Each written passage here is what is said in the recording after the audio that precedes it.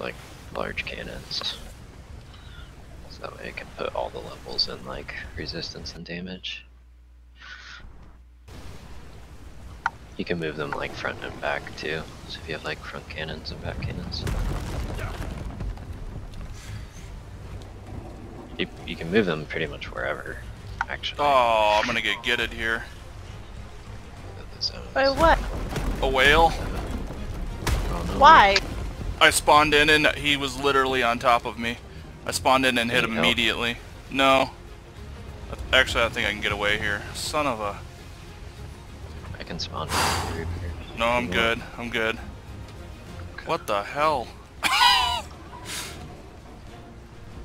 what is his deal? I just found a bunch of sod.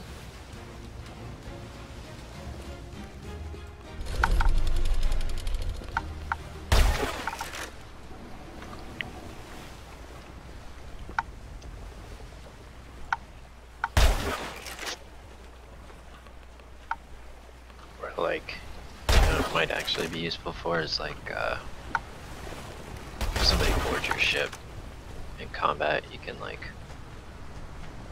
see if ass cannons and swivel guns. Tell your ass cannons to get off the cannons and get on the swivel gun, so you don't have to have extra crew just for your swivel guns. Yeah. Those are useless most of the time. Except for that like, Hey, you did it. Hey, War Dog. Yeah.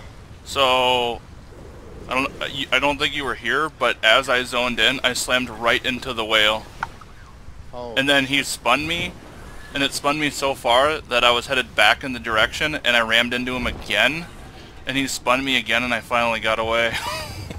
oh man, I just got back.